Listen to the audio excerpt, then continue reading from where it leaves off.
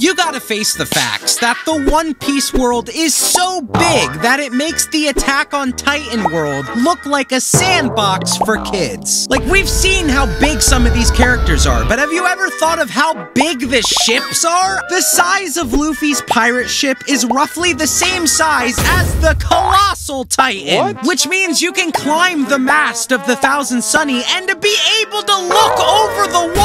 But what's even crazier is that there's bigger ships in One Piece. Let's look at Big Mom's pirate ship. Like, how is this even real? Remember what I just told you about the Attack on Titan wall? Well, Big Mom's ship would sail right over it as if it was a speed bump. And don't forget, Thriller Bark, the island. You mean the ship?